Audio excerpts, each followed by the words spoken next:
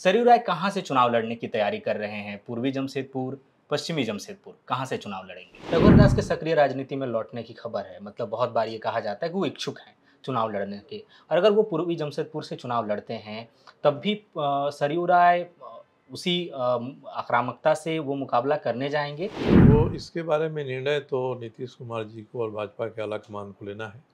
निर्दलीय लड़े और आपने रघुवर दास को हरा दिया।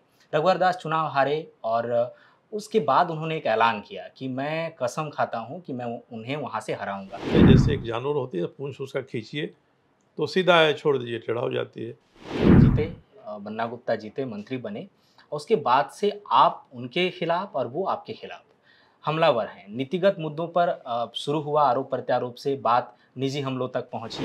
एक किसी महिला के साथ बातचीत का जारी हुआ था सोशल मीडिया में आया था। तो मैंने उसको शेयर किया था। मगर मेरे शेयर करने के पहले सोलह लोग उसको और शेयर कर चुके थे। निशिकांत दुबे जी ने शेयर किया उनका शेयर ही मेरे पास आया तो मैंने उसको भी शेयर कर दिया। तस्वीर आपकी उनकी आई थी वो पाँव छूते नज़र हाँ। आए अभिभावक तुल्य बताया। मैंने कहा मैंने हमेशा अभिभावक तुल्य बोल के उनको सम्मान दिया लेकिन वो हमेशा मेरे पीछे हाथ धोकर पड़ गए। तो ज़बरदस्ती खड़ा होके कार्यक्रम खत्म होने के बाद पैर छुए और प्रेस फोटोग्राफर लोगों से कहा कि फ़ोटो खींचिए फ़ोटो आपको पता नहीं था ये तस्वीर होने वाली है। नहीं नहीं नहीं मैंने उनसे यही कहा कि आज पैर पकड़ रहे हैं और कल कल पैर खींचिएगा।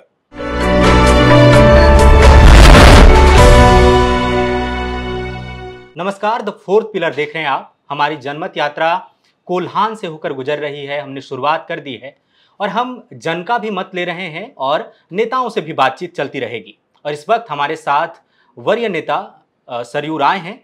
सरयू राय जो झारखंड की राजनीति में पितामह की संज्ञा जिन्हें दी जाती है जो समझते हैं पूरे झारखंड को सियासत को और इनकी खुद की राजनीतिक यात्रा जो है 2019 के विधानसभा चुनाव की के बाद से किसी रोलर कोस्टर की तरह रही है।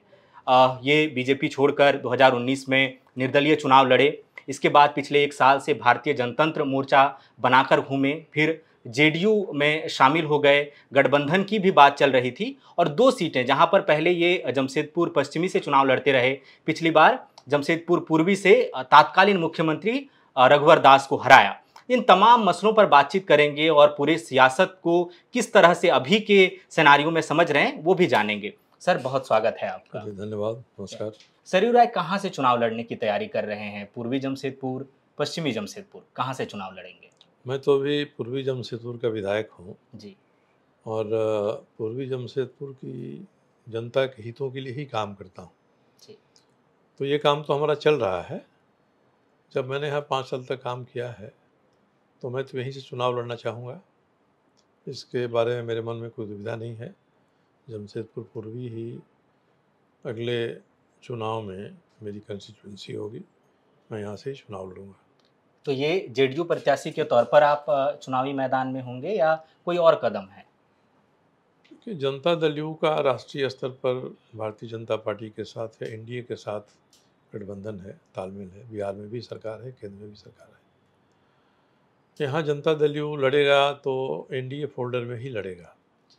इसलिए मैं उम्मीदवार एनडीए का ही रहूँगा। और जहाँ तक मुझे अभी तक आभास मिला है कि राष्ट्रीय नेता हैं, भारतीय जनता पार्टी के और जनता दल यू के, ये बात करेंगे इसके बारे में कि आगे की सूरत क्या होगी, किस तरह की होगी।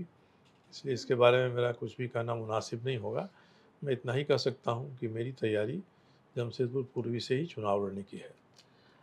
ये सवाल इसलिए भी हैं क्योंकि जब जेडीयू आपने ज्वाइन किया तो क्या आप इस एश्योरेंस के साथ इस आश्वासन के साथ शामिल हुए कि मैं जमशेदपुर पूर्वी से ही चुनाव मुझे लड़ाया जाएगा तो मैं पार्टी में आ रहा हूँ अपने कैडर के साथ?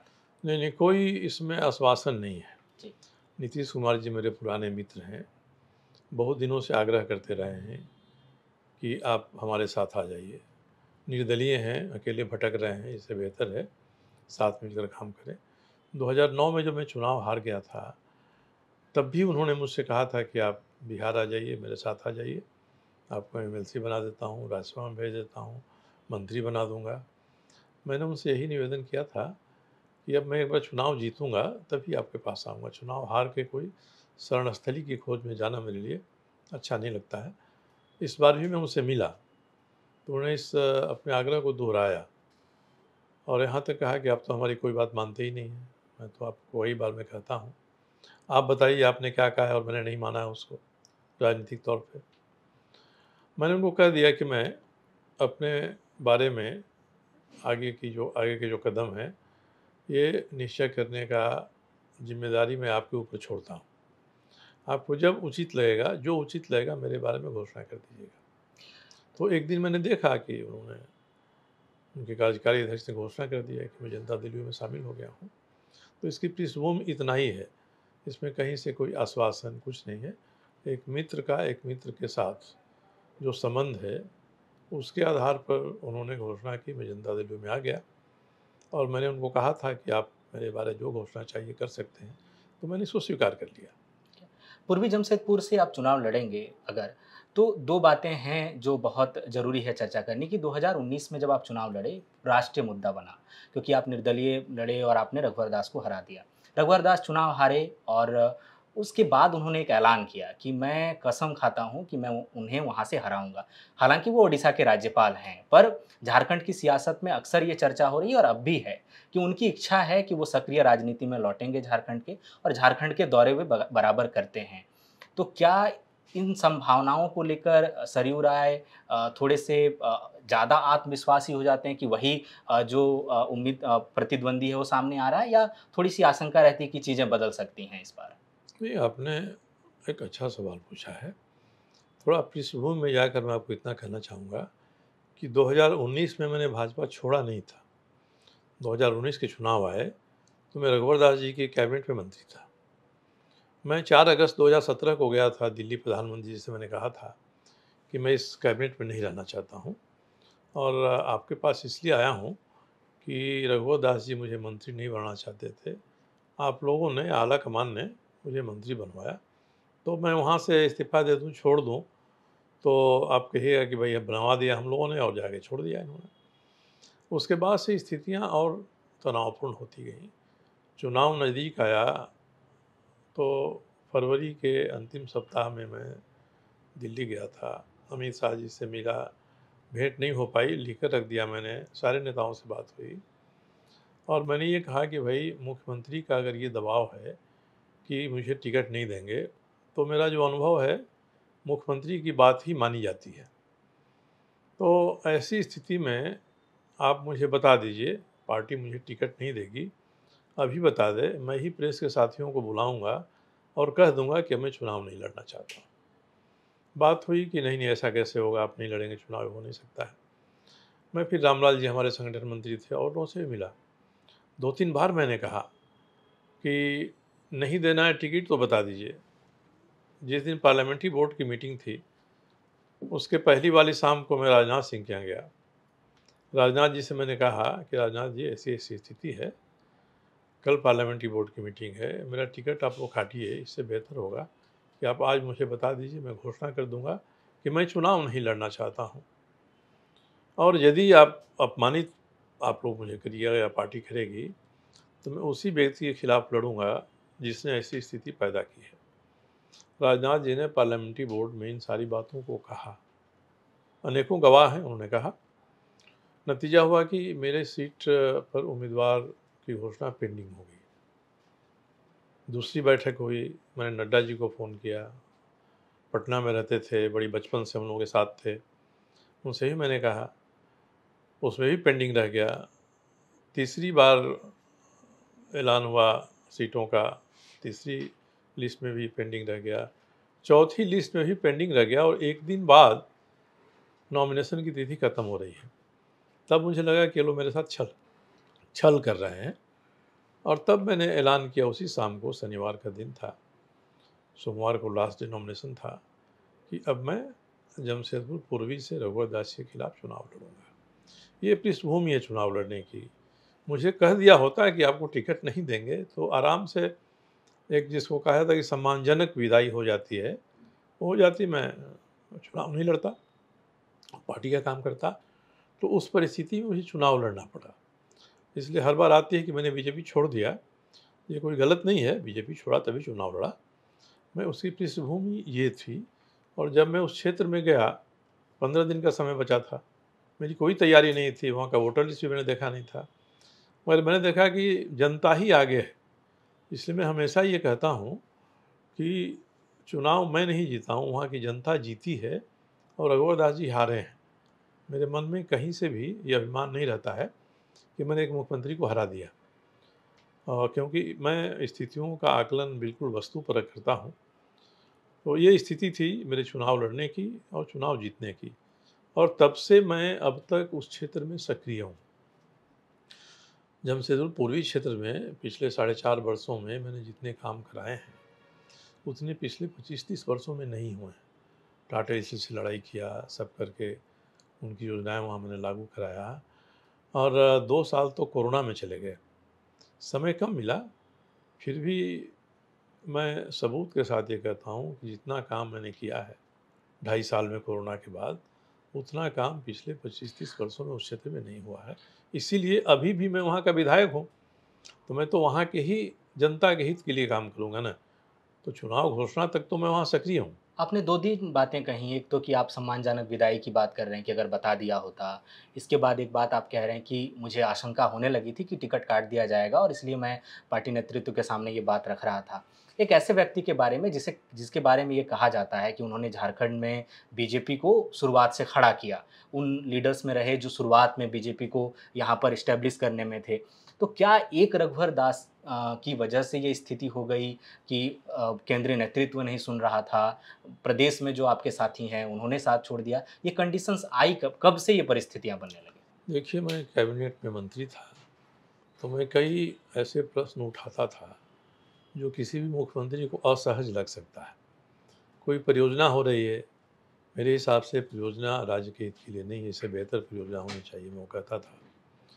अगर सचिव हैं, कोई गलतियाँ कर रहे हैं, मैं उसकी बात कहता था। कोई सड़क बन रही है और उसका एस्टिमेट रिवाइज करके डेढ़ सौ करोड़ ज़्यादा कर दिया जा रहा है तो मैं उस बात पर ज़ोर देता था, उठाता था। मैंने मैं अपनी बात कहता था और अपने विभाग में मैंने भारत सरकार के जो कार्यक्रम थे और वो कार्यक्रम यहाँ के लोगों के हित में नहीं थे तो मैंने उनको भी रोकवाया। और अपने सचिव से भारत सरकार के सचिव की बात करा कि हाँ ये नहीं लागू हो सकता है। तो कई ऐसे काम किया तो लगता होगा मुख्यमंत्री जी को कि मतलब क्या सरयू राय ये कह रहे हैं कि मुख्यमंत्री रहते रघुवर दास और पार्टी के बड़े नेता रहते मतलब वो असहमति स्वीकार नहीं कर रहे थे चाहे किसी की भी हो? देखिए कैबिनेट के बारे में बाहर जो धारणा है ना अंदर में धारणा अलग स्थिति रहती है। कैबिनेट का सामूहिक दायित्व तो होता है। कोई निर्णय आप, उसके पक्षधर नहीं है, हो जाता है तो आप ये नहीं कह सकते हैं कि मैं इसको नहीं मानता हूँ। तो ये स्थिति आती है, इसलिए कैबिनेट के भीतर जो कह लीजिए बाहर में आपको चुप रहना पड़ता है।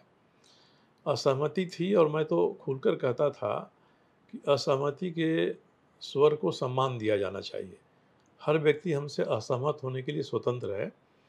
जिस बिंदु पर वो असहमत है, मिल बैठकर बात करके उसका निपटारा करना चाहिए।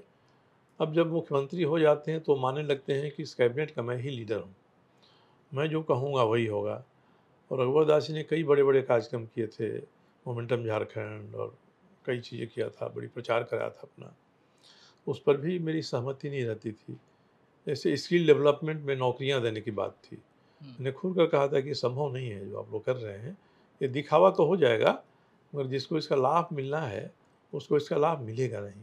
तो अंदर में मैं कहता इसीलिए जब मुझे लगा कि अब यह स्थिति हद से ज़्यादा गुजर रही है, तब मैं चार अगस्त 2017 को समय लेकर प्रधानमंत्री जी से मिला और उनसे कहा कि मुझे कैबिनेट में हर मीटिंग में शर्मिंदगी उठानी पड़ती है, मैं चाहता हूँ मुक्त हो जाऊँ। उन्होंने मुझसे कहा कि कैबिनेट छोड़ने के बारे तो सपने में भी नहीं सोचना चाहिए। मैं अमित भाई से बात करूँगा। अमित शाह जी ने मुझे फ़ोन किया पंद्रह दिन के बाद समय तय हुआ, मैं दिल्ली गया, उनसे मिला। उन्होंने कहा कि मैं पंद्रह, सोलह, सत्रह सितंबर 2017 को मैं रांची रहूँगा तीन दिन के लिए। मैं सारी चीज़ों का निपटारा करूँगा। रांची आए, बहुत हद तक निपटारा किया उन्होंने।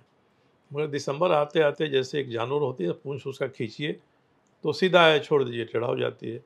दिसंबर के बाद फिर वही स्थिति आ गई। इसलिए 2018 और का जो साल था वो मेरे लिए बड़ी तकलीफ़देह साल था। क्योंकि मन जिसको गवारा नहीं करता है उस पर सहमत होना पड़ता था और अठारह के ही साल में ज़्यादा तलखी हुई। और मेरी आ, मेरा अनुभव भी है कि कहीं भी मुख्यमंत्री कोई स्टैंड लेता है तो पार्टी का आला कमान उसी को महत्व देता है। एक तो उनका लगातार लाइव कांटेक्ट रहता है मुख्यमंत्री का आला कमान से। वो उतना हम लोगों का नहीं रहता है। तो जो बातें पहुँचती होंगी पहुंचाई जाती होंगी उस कोण से मैं उसका अनुभव करता था। इसलिए मैंने कहा था कि मुझे टिकट नहीं दीजिएगा मैं जानता हूँ आप मुझे पहले बता दीजिए। मैं अपने स्तर पर ही घोषणा कर दूँगा।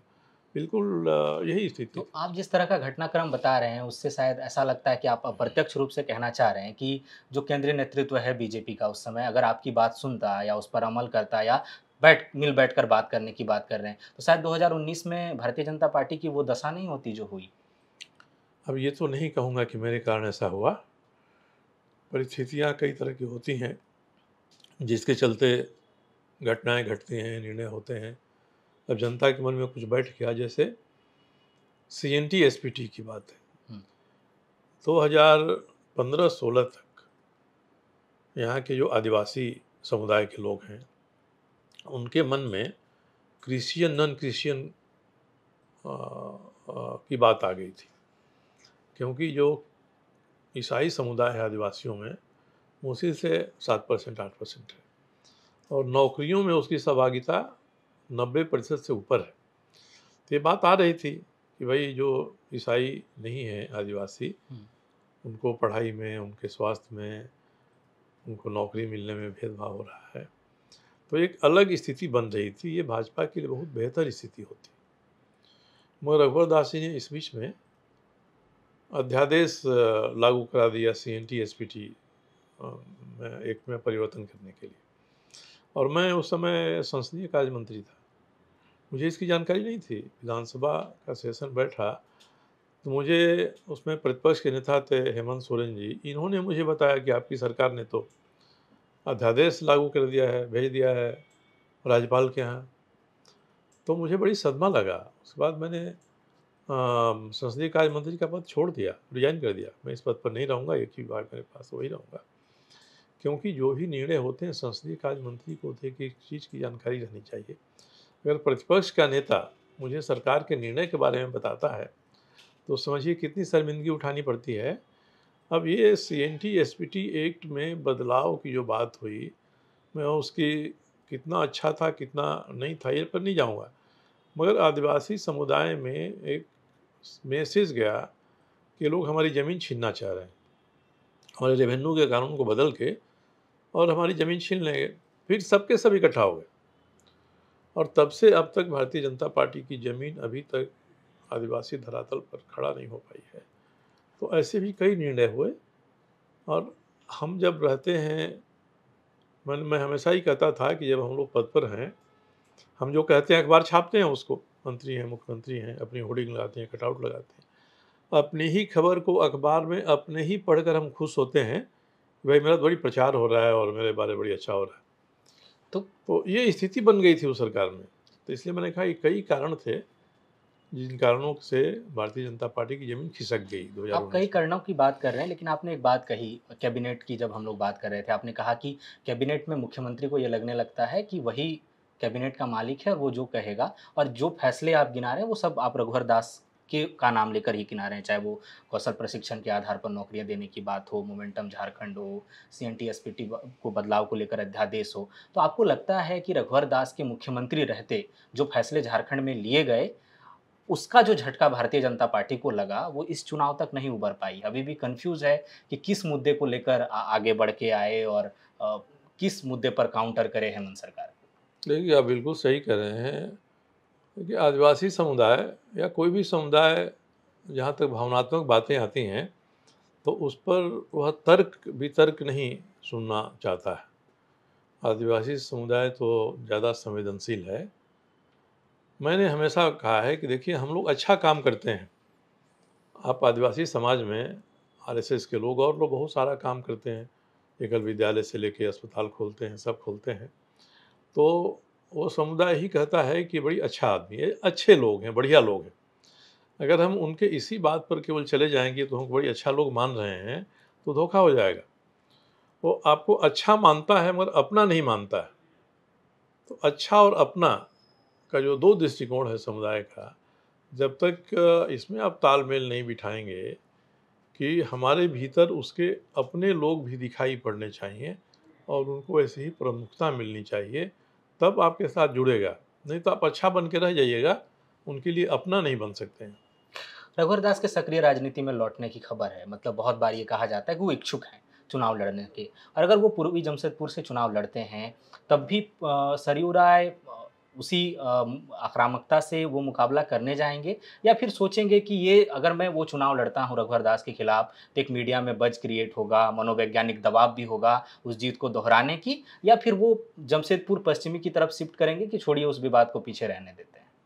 देखिए मैंने जब आप कहा कि मैंने नीतीश कुमार जी पर सब कुछ छोड़ दिया है मैंने। जी।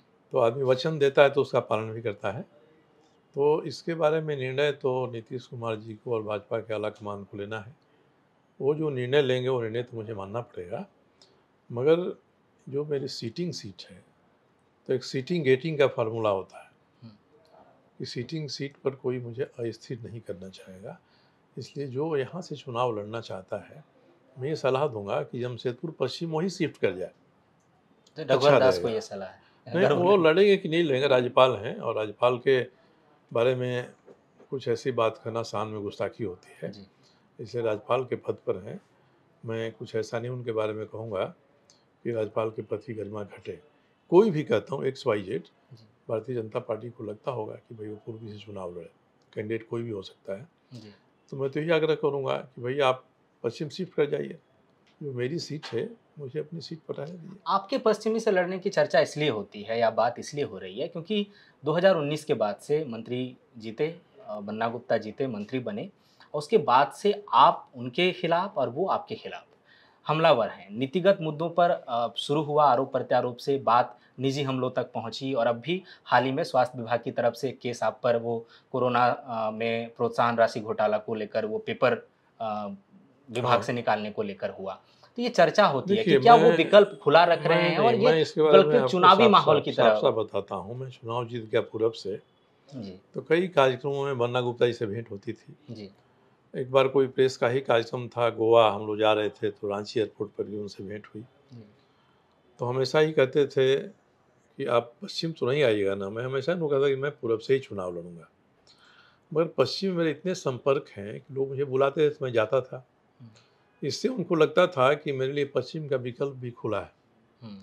तो जो सरल सहज व्यक्तिगत बात थी उसका उन्होंने हमेशा ही राजनीतिक अर्थ में लिया कि मैं पश्चिम से भी आ सकता हूँ। इसलिए उन्होंने आरंभ किया मेरे विरोध में कहना और मैंने उनके विषय में जो कहा वो स्वास्थ्य विभाग में जो हो रहा है मैंने जितना कहा है वो मुझसे से दस प्रतिशत होगा स्वास्थ्य विभाग जिस तरह से चल रहा है और मैं तो अब इसके लिए मुख्यमंत्री को दोषी मानता हूँ कि अगर सबूत के साथ मैंने सवाल उठाए हैं विधानसभा में, विधानसभा के बाहर, प्रमाण दिए हैं, स्पीकर तक ने कहा है कि जाँच होनी चाहिए, उसके बारे में ये सरकार जाँच ही नहीं कराई इसका मतलब कि पीछे से मुख्यमंत्री का प्रोत्साहन है इनको। और उन्होंने जो भी व्यक्तिगत हमले हमारे ऊपर किए, मैंने कोई व्यक्तिगत हमला नहीं किया। एक उनके बारे में एक किसी महिला के साथ बातचीत का जारी हुआ था, सोशल मीडिया में आया था। तो मैंने उसको शेयर किया था। मगर मेरे शेयर करने के पहले सोलह लोग उसको और शेयर कर चुके थे। निशिकांत दुबे जी ने शेयर किया, उनका शेयर ही मेरे पास आया तो मैंने उसको भी शेयर कर दिया। इसके बारे में उन्होंने मुकदमा किया है। मुकदमा जहाँ का तहाँ बैठा है। उन्होंने एक नहीं, तीन या चार मुकदमे मेरे ऊपर कराए मानहानि का एक केस दर्ज कराया इन्होंने कि उनके ऑफ़िस से कागज़ निकाल के मैंने उनकी मानहानि किया है। अब दो साल से ज़्यादा हो गया वो गवाही देने नहीं जाते हैं। तो आपको तो केस लड़ना चाहिए ना मैं तो इंतज़ार करता हूँ कि जिस दिन जाएँ उस दिन मेरे वका मेरे जो वकील हैं उनसे कई इस संदर्भ में सही सवाल पूछेंगे बताना पड़ेगा कि भाई आपकी जो आपका जो मान है वो कितना है कितने का है या बिल्कुल नहीं है। तो वो जा नहीं रहे हैं। उन्होंने एक एफआईआर कराया। अब उस एफआईआर में जब एफआईआर गया, पहले मेरा नाम नहीं था। बाद में दोबारा उन्होंने अपने ज्वाइंट सेक्रेटरी से लिखवाया कि भूल बस उनका नाम छूट गया है। वो नाम जुड़ा। जब ये कागज़ गया कोर्ट में तो एक और एफआईआर कराया उन्होंने कि जो कागज़ कोर्ट में प्रस्तुत किया गया, उसमें अभियुक्त के नाम पर वाइटनर लगा हुआ है। तो वाइटनर या तो थाना लगाया होगा या कोर्ट ने लगाया होगा। और वो मुकदमा मेरे ऊपर हुआ है। ये दूसरा मुकदमा है। एक और तीसरे मुकदमे की तैयारी वो कर रहे हैं। सफल नहीं हो पा रहे हैं अपने विभाग में। वो इसलिए कह रहे हैं, ये बातें इसलिए आ रही हैं क्योंकि बन्ना गुप्ता ये कहते हैं कि उनकी पूर्वी से वो लड़े उस समय ईगो में लड़ गए, लेकिन पश्चिमी जमशेदपुर से वो रहे हैं। और वो इच्छुक हैं हमेशा से पश्चिमी में आने के लिए उन्हें एक, एक तस्वीर आपकी उनकी आई थी वो पाँव छूते नज़र हाँ। आए अभिभावक तुल्य बताया मैंने कहा मैंने हमेशा अभिभावक तुल्य बोल के उनको सम्मान दिया लेकिन वो हमेशा मेरे पीछे हाथ धोकर पड़ गए उन्होंने व्यक्तिगत जिस दिन तस्वीर खींची गई जी एक बंगाल क्लब का प्रोग्राम था हम्म। वो ज़बरदस्ती खड़ा होके कार्यक्रम खत्म होने के बाद पैर छुए और प्रेस फोटोग्राफर लोगों से कहा कि फ़ोटो खींचे फ़ोटो आपको पता नहीं था ये तस्वीर होने वाली है। नहीं नहीं नहीं मैंने उनसे यही कहा कि आज पैर पकड़ रहे हैं और कल कल पैर खींचिएगा। ये फितरत है आपके व्यक्तित्व की। तो वो कोई मुझे सम्मान देने के लिए मेरा पैर नहीं छू रहे थे। वो क्या मैसेज देना चाह रहे थे? आप देखेंगे ऐसे करके वो फ़ोटो खिंचा रहे हैं। और अपने उन्होंने कहा कि मेरा फ़ोटो खींचे आप लोग। मगर स्वास्थ्य विभाग में कुछ भी गड़बड़ होता है। एमजीएम में उन्होंने एक अपना प्रतिनिधि बैठा कर रखा है पिछले चार साल से। जो सुपरिटेंडेंट के ऑफ़िस के ठीक सामने उतना ही बड़े कमरे में ऑफ़िस बनाया हुआ है। तो एम में कोई गड़बड़ी होती तो कौन जिम्मेदार ठहराया जाएगा? वो काम नहीं करने देते हैं लोग सुपरिटेंडेंट को सही तरीके से। स्वास्थ्य विभाग में जो दवाएँ खरीदी गई, मैंने साबित किया कि जानबूझकर अधिक कीमत पर इन्होंने दवाएँ खरीदी हैं। इस पर कोई कार्रवाई नहीं हुई। और अगर तो, नेतृत्व ही आपको कह देता है कि आप पूर्वी मत लड़िए आप तो पश्चिमी से रहे हैं मज़बूत स्थिति आपकी आप ही पश्चिमी से लड़िए। आप ये देखिए कहावत है कि नानी को मूछ हो जाएगा तब तो हम तय करें कि उनको नाना कहें कि नहीं कहें। इसके बारे में ज़्यादा कहने से गलतफहमी पैदा होती है। और इसी इंटरव्यू को कोट करके लोग जनता दल यू और भारतीय जनता पार्टी में ले गए साबित तो अभी से ऐसा ऐसा कर रहे हैं। तो अभी तो मैं इतना ही कह रहा हूँ कि मैंने अपना सारा निर्णय नीतीश कुमार जी के ऊपर छोड़ दिया। उनको तय करना है कि मेरा भविष्य में क्या हो बीच में लोकसभा चुनाव के समय से एक चर्चा ये आई कि सरयू राय प्रयास कर रहे हैं या उधर से भी कुछ नेता कोशिश कर रहे हैं कि सरयू राय बीजेपी में लौट आए। क्योंकि रघुवर दास उड़ीसा चले गए राज्यपाल बन के बाबूलाल मरांडी ने प्रदेश का नेतृत्व संभाल लिया है और पूरी बीजेपी बदली सी है थोड़ी सी तो क्या आ, बात नहीं बन पाई और आखिरी विकल्प के तौर पर आप अपनी पार्टी बनाई थी आप जेडीयू में गए तो क्या जेडीयू में तो आपने क्या अपनी पार्टी का विलय भी कर दिया? कि भारतीय जो पार्टी बनी थी वो मेरी पार्टी नहीं थी। मैं निर्दलीय विधायक था कोई निर्दलीय विधायक अपनी पार्टी नहीं बना सकता है। जी। एक पार्टी बनी उन्होंने मुझे संरक्षक बनाया। वो पार्टी आज भी काम कर रही है। जनता दल में मैं गया हूँ पार्टी नहीं गई है। जनता दल के लोग समझेंगे कि उस पार्टी को हमारे साथ विलय होना चाहिए तो पार्टी के जो अध्यक्ष हैं सब लोग मिलकर तय करेंगे। मेरे लिए सुविधा की स्थिति है। मेरे जनता दल भी खड़ी है। और भारतीय जनतंत्र मोर्चा भी खड़ा है। ये दोनों ही मेरे लिए समर्थन है इसलिए ऐसा नहीं कि मैंने अपनी पार्टी को छोड़ के जनता दल ज्वाइन कर बीजेपी में क्यों आपसे नहीं हो पाई? बीजेपी में क्यों नहीं आया बीजेपी में बीजेपी के किसी भी नेता ने गंभीरता से कभी भी मैं बीजेपी में आऊँ इसके बारे में बात नहीं मुझसे किया। और मैंने भी बीजेपी के किसी प्रदेश या राष्ट्र स्तर के नेता से इसके बारे में मैंने बात नहीं किया। अखबारों में बात आती कई है। बार लगा कि आप मतलब बीजेपी के शुभचिंतक की बात तरह बात कर रहे हैं। जैसे विधानसभा में जब वो बहुमत साबित करने वाली बात आई थी और हेमंत सोरेन जेल में थे तो आपने एक बयान दिया था कि आदिवासी नेता के तौर पर हेमंत सोरेन अगर आज स्थापित हो रहे हैं चेहरा बन रहे हैं तो इसमें बहुत बड़ी भूमिका बीजेपी की है। इसके अलावा भी कई बार आप ऐसा तंज या कटाच करते रहे जो ऐसे लगा कि एक बड़ा भाई छोटे भाई को डांट रहा है।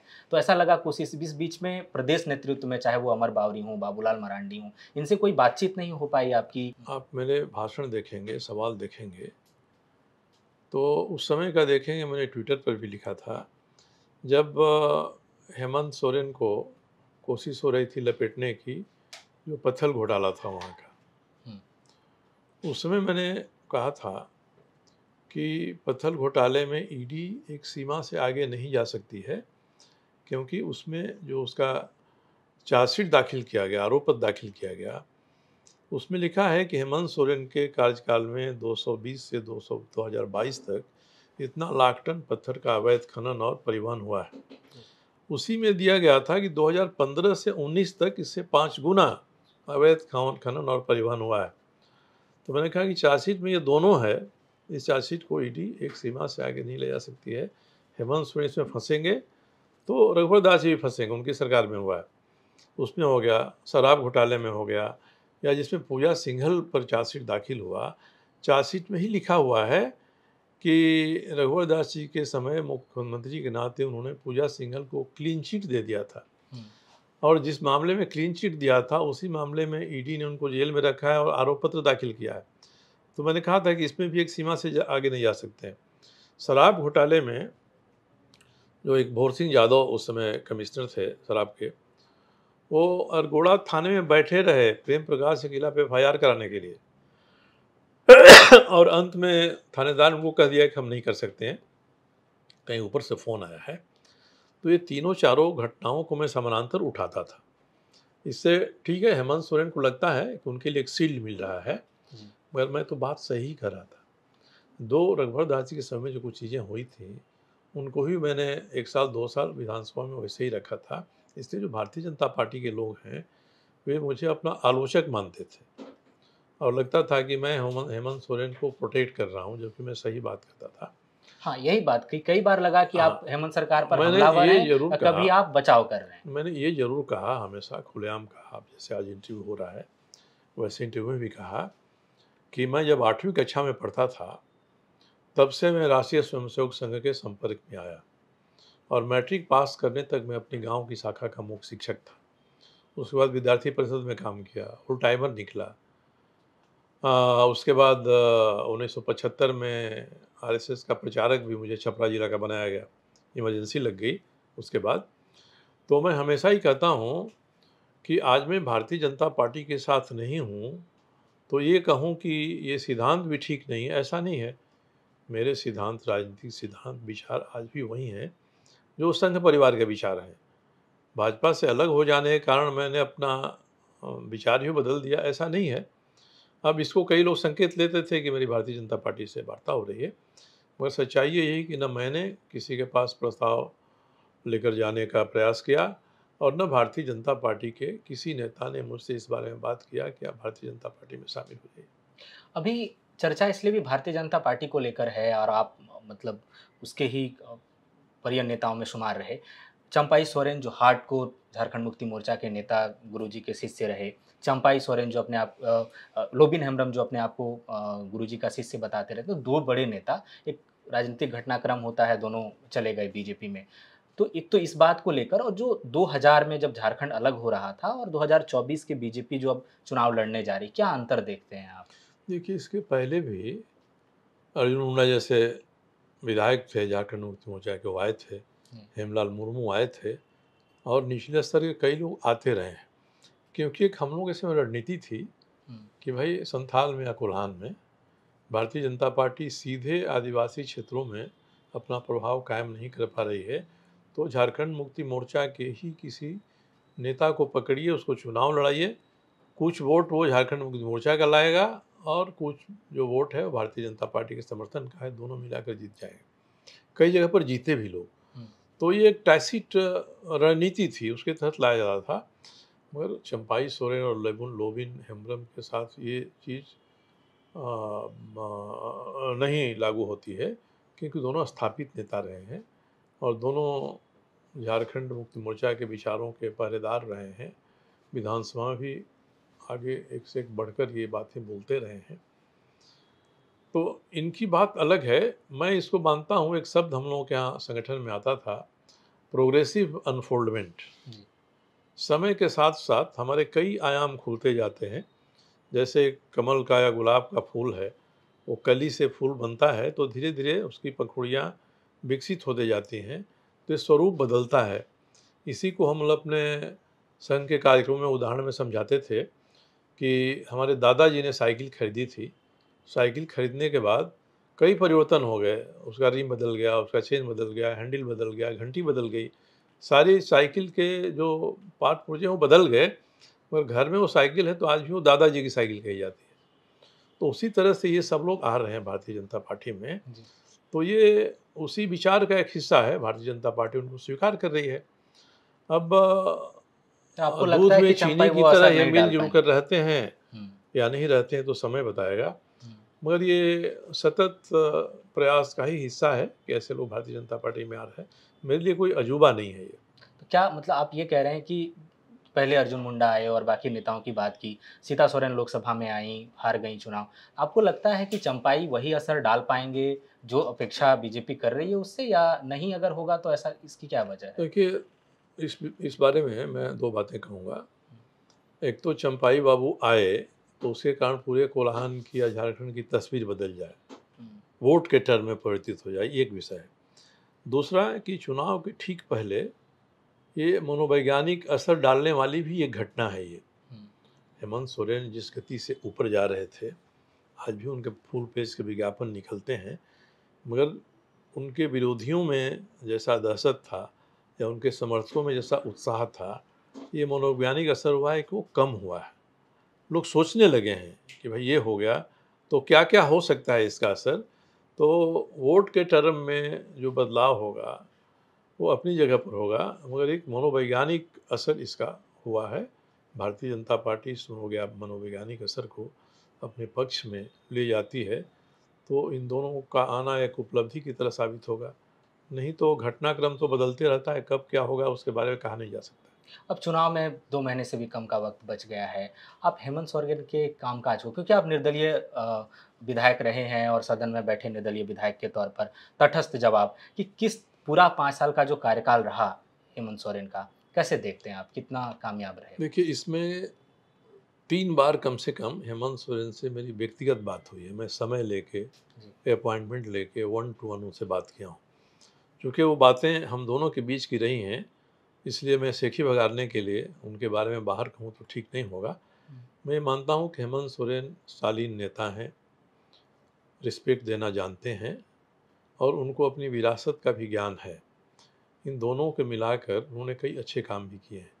जैसे खासकर से जो सर्वजन पेंशन की योजना लागू किया या मैया योजना जो लागू किया। भाजपा ने तो विरोध इसके किया। टाइमिंग को लेकर सवाल उठ रहे हैं मैया योजना। हो सकता है टाइमिंग कोई भी हो, मगर इस योजना से लाभ तो जनता को ही मिलेगा ना। ऐसा तो नहीं है कि चुनाव के बाद ये योजना बंद हो जाएगी। ये जारी रहेगी, कोई भी सरकार आएगी, हेमंत जी आए, भाजपा आए तो इस योजना को बंद तो नहीं कर सकती है। इसमें सुधार कर सकती है, हज़ार के बदले दो हज़ार कर सकती है, चार हज़ार कर सकती है। तो ये काम अच्छा किया, इसीलिए मैंने अपने क्षेत्र में अलग से तीस हज़ार फॉर्म छपवा के फ्री में लोगों को दिया और मैंने प्रयास किया कि हमारे क्षेत्र के लोग इसमें शामिल हों, इसका लाभ मिले उनको। और ये सबको करना चाहिए था। मेरा ये विचार है, चुनाव के समय किया, चुनावी लाभ लेने के लिए किया। उनके रणनीति का हिस्सा है। मगर जो उनसे गलतियाँ हुई हैं कि रघुवर दासी की सरकार में राजबाला वर्मा के नियंत्रण में जो बिचौलियों का समूह काम कर रहा था वही समूह पूरा साजो सामान के साथ हेमंत जी के साथ चलाया इस बारे में मैंने उनसे कहा था कि भाई ये रघु- रघुवर दास के समय तो राजबाला वर्मा इनको कंट्रोल करती थी और आपके समय में ही खुद मुख्तार हो गए तो ऐसा रहेगा तो प्रशासन पर से आपका नियंत्रण घटेगा। मैंने उनको साफ़ साफ़ कहा था और भी दो बार की बातचीत में कई बातें मैंने उनको कहा था जो कहना ठीक नहीं है। तो मुझे जो उचित लगा मैं उनको बताता था। मेरे संबंध उनके साथ मैं भी उनकी व्यक्तिगत रूप से इज़्ज़त करता हूँ वो भी हमारे करते हैं। और जो भ्रष्टाचार का सिलसिला चल निकला है ना हम्म।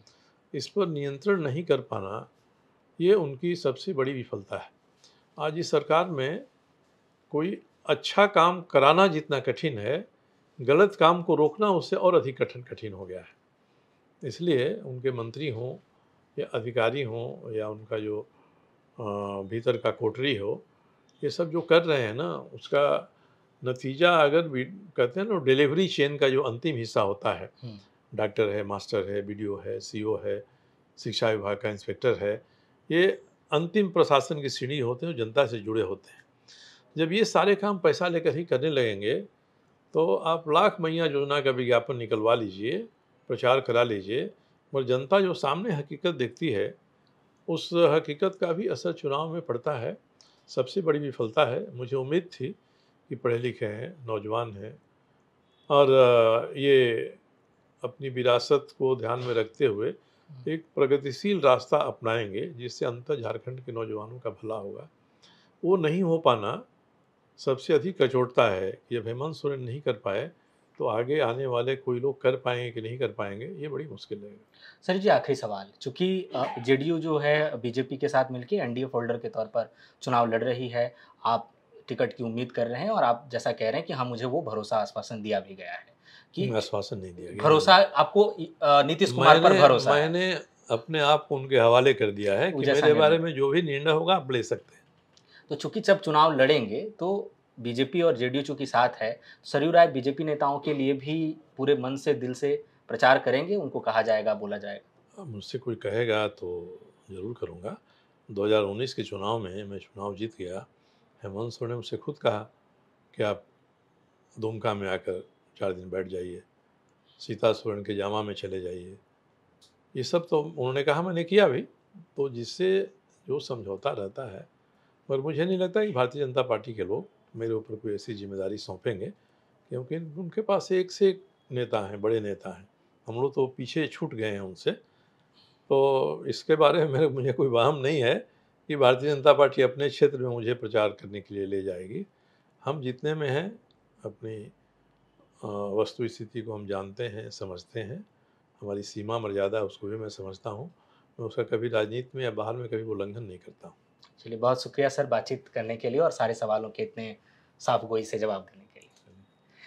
तो ये थे सरयू राय और अब चुनाव कुछ ही समय में ऐलान हो जाएगा और इसके बाद बड़े दिग्गज जो हैं चुनावी मैदान में नज़र आएँगे और फिर सियासी घटनाक्रम भी तेज़ी से बदलेगा, आरोप प्रत्यारोप भी शुरू होंगे और हमारी जनमत यात्रा भी इसी तरह से जारी रहेगी कोल्हान सहित झारखंड के तमाम प्रमंडलों में।